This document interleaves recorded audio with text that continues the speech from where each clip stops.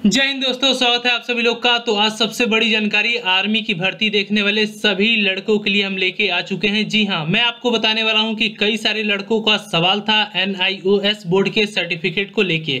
क्या हम NIOS board के सर्टिफिकेट को लेके भर्ती आर्मी की देख सकते हैं? आप अगर स्टेट बोर्ड या सीबीएसई बोर्ड, किसी भी बोर्ड से पढ़ाई करते हो, उसमें कम नंबर आता है या फेल हो जाते हो या दूसरी बार एग्ज़ाम दे के भर्ती देखते हो तो वो सर्टिफिकेट वैलिड होता है कि नहीं होता है? या आर्मी में कोई दिक्कत आती है कि नहीं आती है?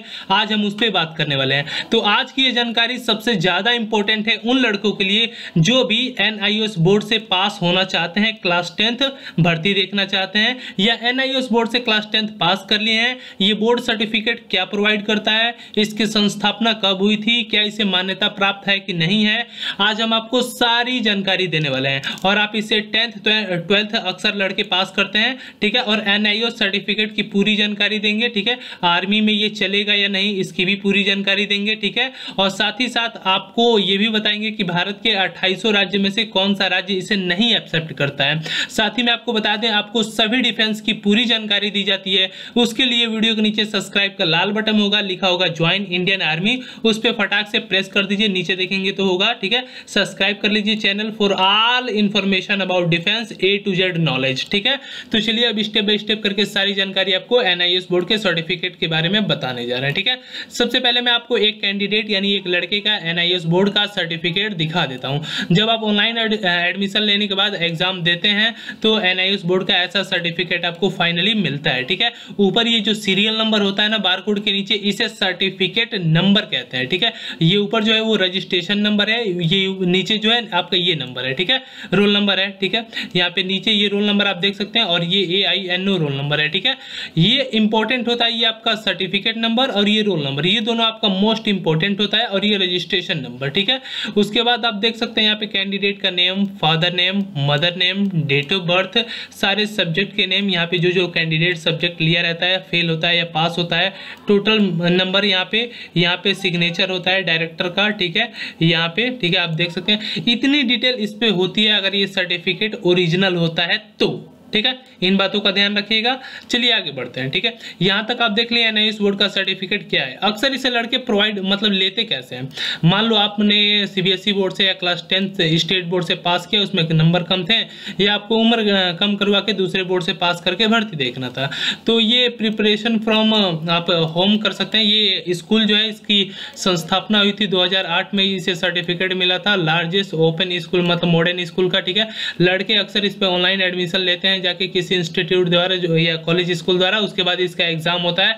आप घर बैठे इसकी आप तैयारी करते हैं और डायरेक्ट जाके एग्ज़ाम देते हैं, ठीक है? इसमें ये फॉलो, रूल कर, किया जाता है, ठीक है? और इससे अधिक अगर इसके बारे में आप जानकारी लेना चाहते हैं तो सिंपली आप इसके वेबसाइट पे आप जा सकते हैं, वहाँ पे आपको टोल फ्री नंबर मिल जाएगा। इसकी पूरी डायरेक्ट भारत जन्म प्रमाण पत्र, कोर्स ऑफ़ ओ लेवल वगैरह, कई सारे लेवल्स हैं, यहाँ पे आर वगैरह सारी सूचनाएँ दी जाती हैं। अभी एग्ज़ाम वगैरह जब होते हैं या ऑनलाइन एडमिशन यहाँ पे आप देख सकते हैं, ये चल रहा है, ठीक है? तो मतलब इसकी सारी इन्फॉर्मेशन मिल जाती है। अब इसमें आर्मी का क्या रोल है, वो मैं आपको सबसे पहले आपको बता देता हूँ। अब जैसा कि मैंने आर्मी का नोटिस देखा था और आर्मी के अक्सर लड़कों से मैंने खुद बात किया है तो वो लड़के क्या बताते हैं? एन वाले। यहाँ पे वैसे तो यहाँ पे है कि आप आराम से आर्मी की भर्ती देख सकते हो, लेकिन लास्ट में क्यों कभी कभी दिक्कत आ जाती है? यहाँ पे कह रहे हैं education certificate issue by education board associated to listed by C या ए आई सी टी या C B S C and I will be consider ये जो चार पाँच सर्टिफिकेट है इन्हें ही आर्मी लेगी। इसके अदर अगर कोई संस्कृत बोर्ड है या ओपन बोर्ड है या आ, मतलब स्टेट का ओपन बोर्ड है तो वो उन सब में कभी कभी छाड़ देती है ठीक है? उसे लगता है कि इस लड़के ने पैसे बनवा के लिए हैं तो उसे वहाँ पे छाड़ देती ये आर्मी की नोटिस मैं दिखा रहा हूँ। ऑल ओवर अट्ठाईसों राज्य में आर्मी की यही नोटिस चलती है सर्टिफिकेट के लेके इस बात को ध्यान रखना ठीक है?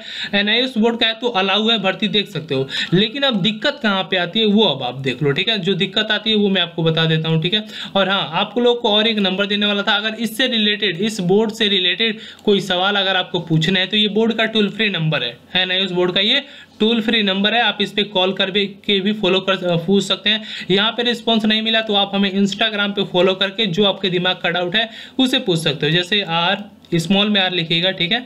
R A K E S H S Y two इसे आप इंस्टाग्राम पे सर्च करोगे? R A K E S H Y two follow करने के बाद मैसेज का ऑप्शन दे देगा। मैसेज करके हमसे चैट कर सकते हो। मैं एक से दो घंटा डेली इंस्टाग्राम पे देता हूँ, जितना समय हो पाता है। देखिए, ये प्रिपरेशन करने का बोर्ड था। इसे लड़के टेंथ या ट्वेल्थ पास करते हैं। इंपॉर्टेंट नोटिस ये आर्मी वालों की तरफ़ से होता है, ठीक है? और यहाँ पे लड़के अपनी सुविधा के लिए पास करते हैं। कम पैसे, कम खर्च में अच्छी तरह ये सर्टिफिकेट मिल जाता है और इसमें लड़के पास हो जाते हैं, ठीक है? अक्सर कोई लड़का यहाँ पे जुगाड़ भी लगा लेता है, ठीक है? तो अक्सर मैं आपको बता दूँ जहाँ उन्हें लगता है।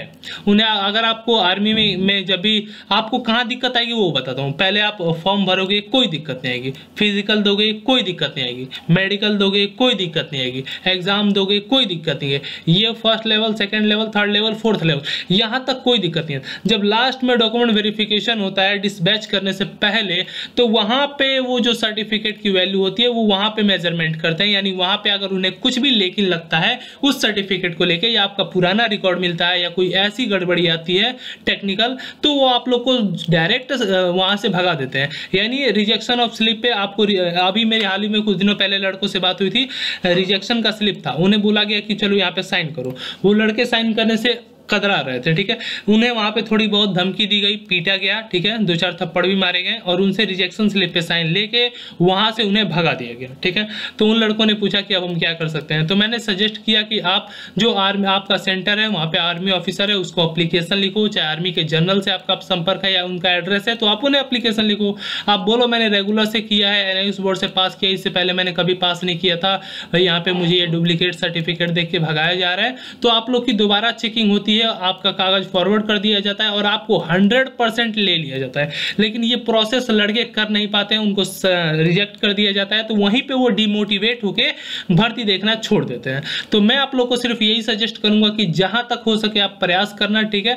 और हाँ सेना भर्ती का जुनून है, ज़ाहिर सी बात है कि हमारी देश में कई सारे मतलब आप देख सकते हैं, जैसे देश को लेके हमारे या किसी भी गर्व वाले काम को लेके आर्मी को सबसे पहले नंबर पे रखा जाता है, ठीक है? डिफेंस की लाइन में देश की सेवा करने के लिए। और खास तौर से इसमें हमारे मिडिल क्लास या आप जो भी कह सकते हैं आ, मतलब किसान वगैरह ज़्यादातर इन्हीं के लड़के जाते हैं ठीक है?